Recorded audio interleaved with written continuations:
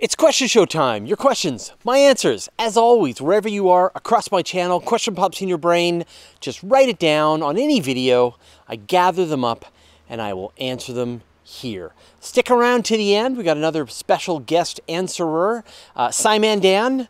Uh, so stick around. It's, it's pretty fun. All right, let's get into it. Kitty A. What should it take to verify if the clouds of Venus have life in it?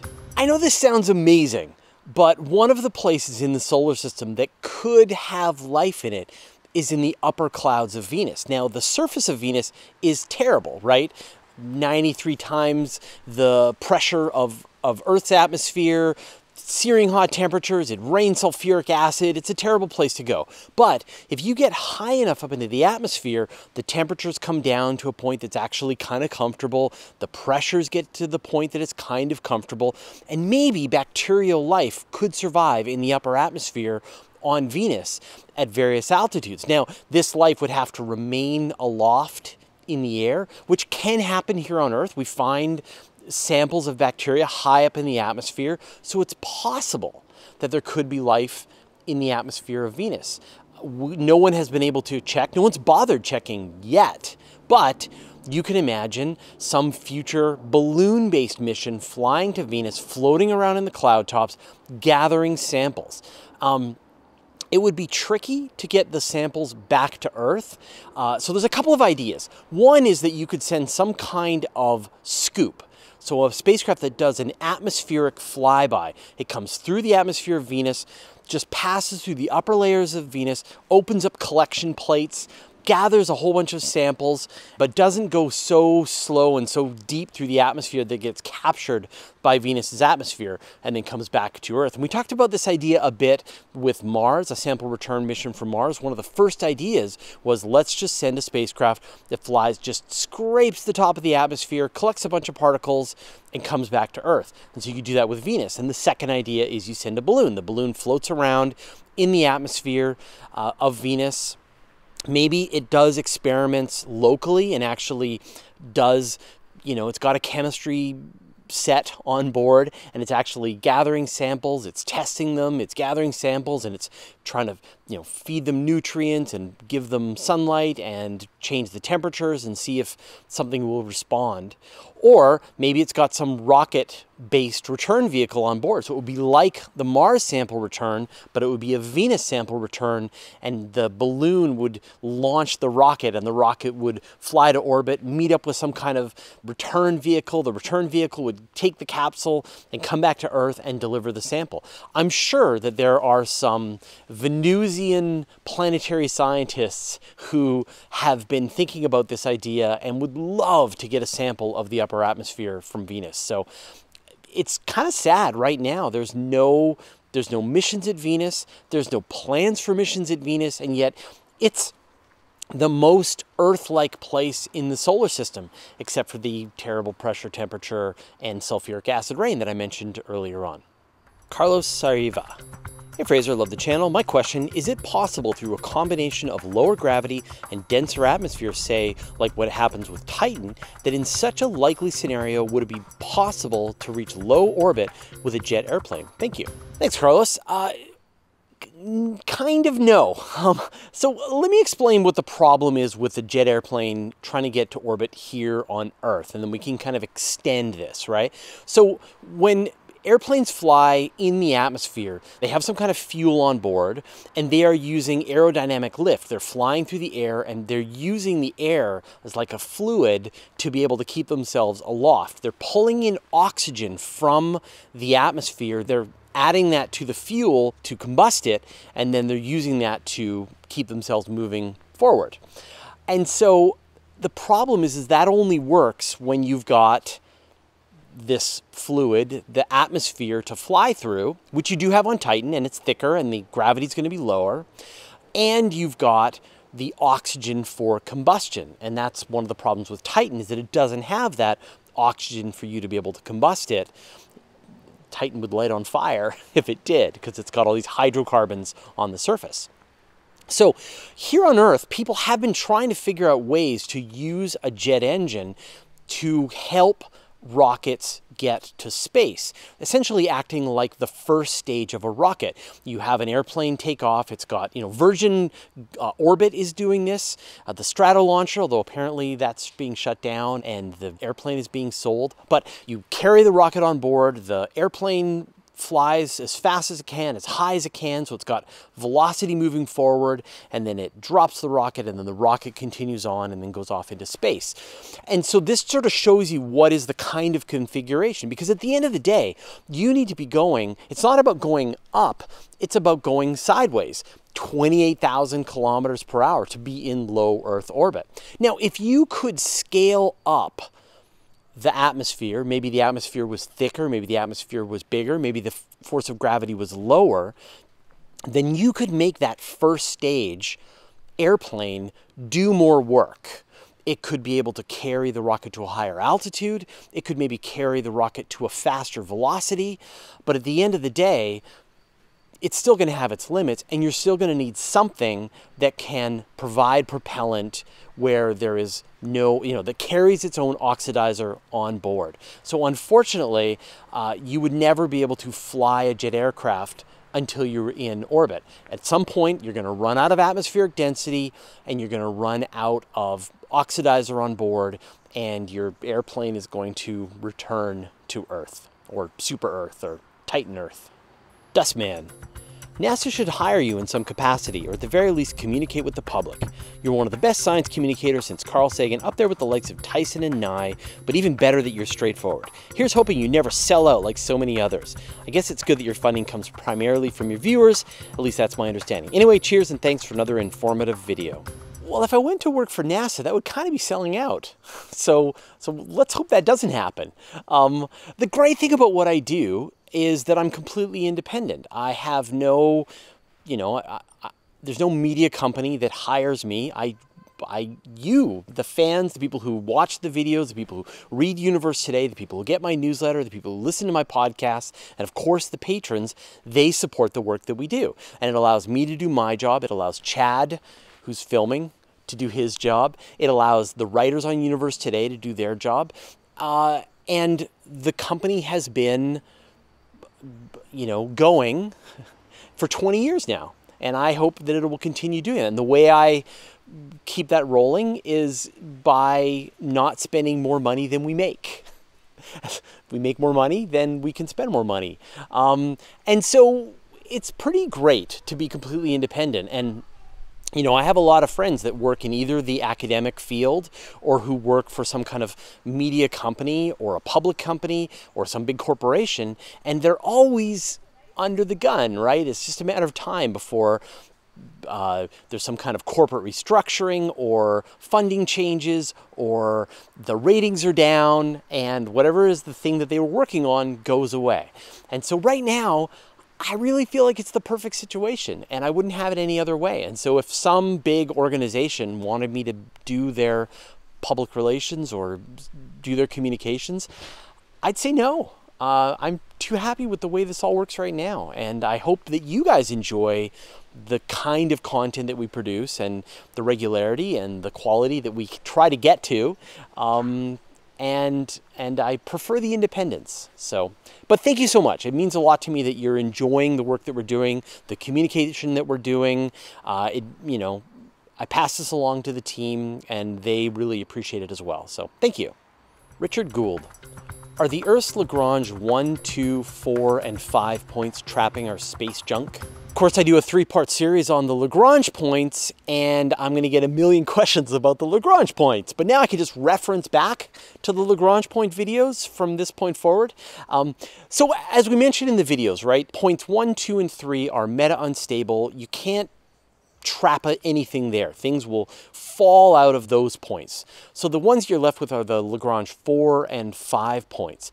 And no, they're not trapping any of our space junk. Part of it is like you need to move into one of these Lagrange points and then you need to change your velocity so that you then sort of fall into that gravity well. Otherwise, you're going to fall back out of the gravity well. So you might pass through one of these Lagrange points and then you're going to come back out. And a great example of this actually was NASA's STEREO mission. So it was launched by NASA to observe the sun. One spacecraft was going ahead of the Earth in orbit, one spacecraft was going behind the Earth in orbit, and they would move out along this orbit on either sides. And a few years into their mission, they moved through the Lagrange points. And this was a great opportunity for scientists to study the Lagrange points with these two telescopes. Although they primarily were for looking at the sun, they were able to look around at them as well. And then they, and so they fell into the gravitational well of the Lagrange points and then they came out the other side and just kept going because you because you sort of you gain velocity as you fall into the Lagrange and then you um, and then you slow back down as you come back out of it the other side and then they keep drifting around with the Earth's orbit. And so that's what's going to happen with any of our junk that happens to go into those Lagrange points. We have to we actually have to to go into the point and then use rockets to essentially fall into that gravity well and then remain there to stick there. So I hope that helps you understand it. Master Pack. So Fraser, Kerbal 2, any thoughts? I have no thoughts. Um, I don't like to think about anything that's going to be happening in the future. Any, I've been just disappointed. Like No Man's Sky, right? Oh, we were so excited for No Man's Sky. And Now the game is really good, but when it first came out, we were pretty disappointed about how it all went. So I refuse to get excited about any new thing that's coming in, in the future, be it movies, be it video games, anything. Um, that said, uh, you should definitely check out Scott Manley's uh, video. He went and interviewed some of the developers and had a lot more additional information about what's going to be in, in, in, No Man's Sky. Uh, it sounds pretty exciting. Uh, there's a lot of really cool ideas that they're going to be bringing into it. I wish I had more time for video games. Uh, a lot of these times I can just, I barely am able to play a lot of games and then I have to, you know, make more videos about space. So uh, but I know Chad's pretty excited because then we can start to simulate some cool ideas.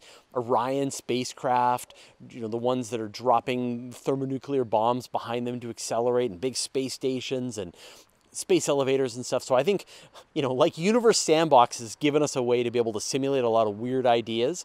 I can see uh, Kerbal Space Program 2 giving us another tool to show stuff that maybe there aren't a lot of other videos out there but that means Chad's gonna have to get really good at Kerbal too. Sir Askalot, does this mean that the Earth and the planets are drifting away from the sun as well? This question is in relation to the one in the last video about tidal locking and how the moon is drifting away from the Earth. And the, the moon is slowing down the rotation of the Earth and it is drifting away from the Earth to compensate. And actually, all of the planets in the solar system are drifting away from the sun, but it's for a completely different process. So what's happening is, is that in the sun, in its core, it is converting hydrogen into helium and it's releasing gamma radiation as the byproduct. And that gamma radiation bumps around inside the sun's radiative zone, makes it out through the convective zone, and then flies off into space. And that light is actually causing the sun to give up a tiny little bit of its mass. Now, it is consuming enormous amounts of hydrogen and turning into helium and releasing an enormous amount of energy. Uh, and so, but the actual amount compared to the mass of the sun is, is just tiny. And so every year, all of the planets move out a tiny little bit because of this mass loss, but not because we are slowing down the rotation of the sun. Kevin Corvus. I've mentioned this before on another video, but I'll comment here again. At around 1502 in this video, you state a belief that we're alone in the entire universe. My comment is that it's a huge leap to go from the observation of no aliens seem to have visibly arranged entire systems of stars to the conclusion of we're entirely alone. Just because rearranging stars and black holes seems plausible doesn't make it actually possible.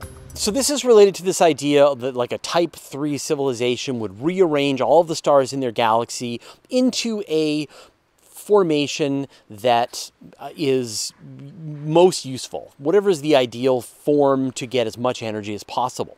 And so, you know, is it plausible? I mean, we don't know, right? But it doesn't appear there's anything in, that violates the laws of physics. Now, it violates our understanding of how to be able to accomplish these things, but at the end of the day, you're just scaling up physical processes as we understand them today to a, a, bigger version. And so if you look back at the at the demand of energy by human beings since we first started with fire to now. It is this smooth line that just goes up and up and up and up and up. And so the the expectation is that line will continue upward. Now maybe it won't, right? Maybe we will decide that that's enough energy and the computers will decide that's enough energy that we will stop. But it seems like it's, it's never occurred to us before to not want to use more energy. So it feels like we're going to want to use more energy. And in fact, you can literally predict it. You can chart energy use on a graph over history and then make predictions into the future, not knowing anything, not knowing how that energy is going to be produced, not knowing where it's going to come from, what we're going to use it for, nothing. Just knowing that energy use in the past could indicate energy use in the future. And so then at some point we will want to use all the energy of a star. And then at some point we're going to want to use all the energy of an entire galaxy. And so then you say, okay, so what does a civilization using all of the energy of a star look like? And what does the a civilization using all the energy of a galaxy look like? So so those are all just assumptions that that that we make when we think about these possibilities. And so by looking out and so then we go, okay, great. So if a civilization was using all of the energy in their entire galaxy, then you would look out into the universe and you would see weird galaxies, galaxies that are in strange shapes, that are only giving off infrared radiation because they've enclosed every single one of their stars in Dyson spheres. That that would be the most optimal way to use up all of the energy of a, of a galaxy. Now, obviously there's a million assumptions, right? Maybe there's a better way. We don't know. And if that better way, then we'll have to completely change our assumption. Maybe um, there's some reason for the laws of physics that it's just not possible. And we'll have to discover that. So it's, it's more that, that we are, you know, we're trying to think of where the aliens could be. And we're trying to think of reasons like why they wouldn't do the kinds of things that that we would expect that we're going to want to do. We're going to want to explore the solar system. We're going to want to send spacecraft to other star systems. We're going to want to colonize those star systems and then use them to send spacecraft to other star systems. Like these are things that we're going to want to do into the future. And so either no alien civilization and like like literally none ever wants to do that which seems weird, right? Like it seems like like maybe 99% don't want to do that, but 1% does, and that 1% colonizes the entire Milky Way. So it's, you know, I'm definitely not using that as the absolute proof positive that we are alone in the universe. I'm using it as just another thing that gives me that suspicion, that makes the Fermi paradox so much weirder and it gives me the willies. So, um, you know, I feel like anyone who isn't freaked out by the Fermi paradox hasn't thought about it enough. And and and so that you know, the, the argument that you're moving towards has been brought up many times, and there's some really powerful counter arguments to that idea. So, you know, I, I hope we can at least agree that it's super weird that we don't see evidence of aliens, even though the universe is big and old and they should be going getting around to everywhere. So that's where I come from. Michael Ramon. Is it possible to convert a gas giant into a rocky planet? In theory, yeah. Uh, all you have to do is strip away all of the gas and you're left with the nuggety core of rock.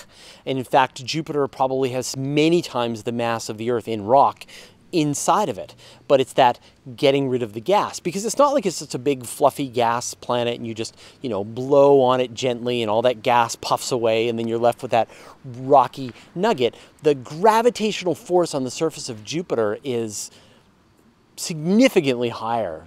Triple? I'm trying to remember what the actual force of gravity, if you could stand on the surface of Jupiter's clouds, it's significant. And so you're going to need a ton of energy to be able to pull that material off. And the calculation that you make is it's called the binding energy. So if you can calculate the binding energy of Jupiter, the total amount of energy to dismantle Jupiter, you could be pretty much left with that little core at the middle. And, uh, and yeah, you could then use the rock. But it is like the most expensive, most complicated, most difficult thing you could possibly imagine. So uh, better to just mine an asteroid. William Bays. how will the base on the moon be powered? The moon is tidally locked with Earth, so half the time the base will be pointed away from the sun. Solar panels are out. Would those nuclear batteries that's used on the Mars rovers just be scaled up? You can definitely imagine some future lunar colony using some kind of nuclear reactor, a fission reactor, uh, to be able to supply itself with the energy that it requires to run everything. Because you're exactly right. For half of the time, one side of the moon is facing at the sun, and then half the time the moon is facing away from the sun. For 14 days at a time, you would be without solar power. But there's actually a couple of places you can go which are perfect for this. So if you go to the poles of the moon, then there are places, there are mountains that are permanently in sunlight. And there are craters that are permanently in shadow. And so what you would probably do is you would set up your base in one of those shadowed craters where there's probably deposits of water ice. You'd run cables up the mountain and then you'd set your solar panels up where they track the sun and they're in constant sunlight and they run the power down to your moon station. So you can have the best of both worlds. So that's what they'll probably do down the road. That's why every, there's so much attention to the south pole and north pole of the moon, because that's sort of the best places to be able to harvest resources, have power, and be able to explore the moon. Liquid flames. I was reading about the Parker Solar Probe. Everyone always says that it's way harder to go to the sun than to go out towards Mars. I can't find out why that is. I thought that if you wanted to go inward, you just need to slow down. Is that not right? Yeah, the sun is the hardest place to get to in the entire solar system. So the Earth is orbiting around the sun at 30 kilometers per second. And unless you can cancel out that orbital velocity of 30 kilometers per second, it, you're just going to go into a different orbit around the sun. I think that's the part that people sort of don't understand or have a trouble kind of wrapping their head around, right? Is that say you launch off of the Earth and now you're you're in orbit around the Earth and then you escape the Earth's orbit, and now you're in orbit around the sun. So you're essentially going 30 kilometers per second like the Earth, but now you're moving away from the Earth, like the stereo spacecraft we talked about earlier. So you take your spacecraft and you fire the thrusters to change your velocity to say 29 kilometers a second. You, you kill one kilometer per second of your velocity. So now you're in a different orbit. You're not spiraling inward down into the sun, you just are now in a different orbit. You're on a bit of an elliptical path that's going to take you out as far as the Earth, but it's going to take you a little closer to the sun, and now you just got a completely different orbit. And you'll stay on this orbit now forever until you fire your rocket again. And it's only when you can gain a total of 30 kilometers per second of velocity, essentially canceling out all that speed that you could actually fall down into the sun. And in fact, the escape velocity of the solar system is about 15 and a half, 16 kilometers per second. So it's easier to leave the solar system than it is to actually fall into the sun. And that's why it's so tough. Matt Brookbank. Couldn't humans or our machines just dig deep enough into a moon or planet where the surface is too cold and irradiated to live and be very comfortable? Like deep enough into Mars or our moon is molten because of the pressure, right? Just stop when you get deep enough to wear a t-shirt and put an airtight cap on the tunnel and make the air pressure mixture right. You are exactly correct. You could dig a tunnel down on the moon, dig down through the rock, and the deeper you go, and I'm not sure the exact distance, but it's going to get warmer and warmer. Like the core of the moon is like 1500 degrees Celsius. So that's hot, right? Hot enough to, I don't know, cook fish. I don't know what the temperature is. but the point is, um, you could go down, dig down, dig down. Maybe you're going to have to go 10 kilometers, 20 kilometers, that the temperature is going to warm up. And you could probably find this perfect spot where you've got all of your human activity, you're running all your machines, and normally it would be too cold, but the heat is radiating away and it's like the perfect temperature. You don't have to worry about about heaters down there. And you're exactly right. You seal up the tunnels, air pressurize them, and boom, you're living in a tunnel uh, deep under the surface of the moon or Mars. And in fact, this is why the lava tubes on Mars and the moon are so interesting for researchers because these are places which are better protected than just the surface of the moon. And so some of the first places that explorers will probably go and maybe try to set up bases on the moon or Mars is in some of these lava tubes because, you know, these old lava tubes, the, the ceilings collapsed, and then explorers could go inside, maybe seal up the roof again, and now you're protected from the radiation, you're protected from the temperature changes. It's actually mild down there. As long as you can get your atmosphere in there, now you're living on a great big natural tunnel, and that's a place to get started to build a more complicated, you know, the, the lunar base I was mentioning earlier with with your solar panels up on the mountains and you're extracting your water ice and stuff. So, so the lava tubes are going to be the first place to go. And actually, we did a whole video about that, and I will uh, I'll link that here. Hiroshi Nakamura. I'm still unsuccessfully trying to find out if the Earth is located rather upwards, north in the flat galactic disk of the Milky Way, or rather downwards, south, or maybe exactly in the middle, say about 500 light years to each border. That's a great question, and I have brought in a special guest answerer to handle this question. It's my friend SciManDan, who normally does a channel where he helps explain scientific concepts to people who maybe don't agree with him but uh, I gave him a refreshing opportunity to answer just a pure question about space and astronomy. So take it away, Simon Dan. Hi, Fraser. Thank you very, very much for allowing me to take part in one of your Q&As. And Hiroshi, what a great question. A galaxy is a complex astronomical object. So I can understand the curiosity when it comes to thinking about our own place within one. Let me help you out with that. Just like our own Sun, the Milky Way is a modest size. At 100,000 light years across, there are many, many galaxies that can dwarf our own. At the centre of our galaxy, we have a bulge that is approximately 12,000 light years in diameter, but we don't need to worry about that because our solar system is located in the main disk, which is approximately a thousand light years thick. And surrounding all of that is a halo of older stars and globular clusters, some of which have been stated at being more than 200,000 light years away. But again, we don't need to look here when it comes to our own solar system.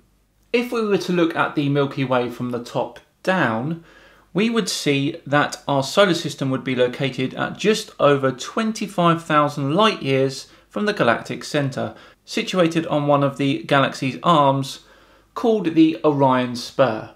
To answer your question specifically, Hiroshi, the solar system isn't exactly where you think it would be. It actually sits just above that disk, roughly 20 light years above. But that's not the end of the story though. We aren't even lined up with the Milky Way. The two planes are seriously mismatched, with the Milky Way and the celestial equator having a difference of up to 60 degrees. So there we go, Hiroshi, a comprehensive guide as to our exact location in the Milky Way. Thanks again, Fraser, for having me on. Bye. All right, thanks, Dan. That was awesome. Uh, great to hear you uh, talking about something that has nothing to do with the topology of our planet. I appreciate that. So I hope you guys all had fun. If you haven't already, go check out SciManDan's channel. I promise you will be hooked. You will watch video after video. Uh, it's a, it's a, it's very, it's very interesting. All right. So that's it. Those are all our questions. As always, I really appreciate you sending me your ideas. Uh, if a question pops in your brain anywhere across my channel, write it down and I will gather them up and I'll answer them here. I'll see you next week.